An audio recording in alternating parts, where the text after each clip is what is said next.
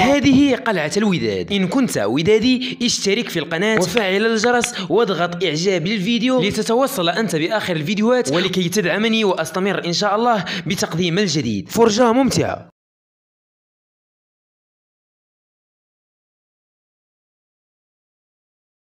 لغز سكومة يثير غضب أنصار الوداد.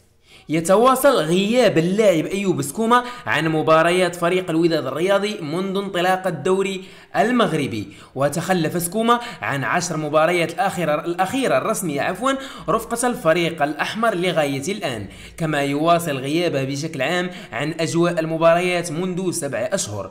بعد الإصابة التي تعرض لها ومنعته من إكمال موسمه رفقة ناديه السابق الفتح الرباطي.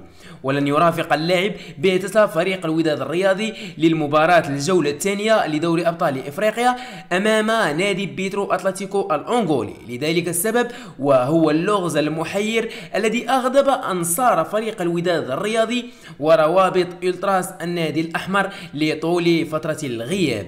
وكذا تضارب التقارير بشأن حقيقة وإصابة اللاعب.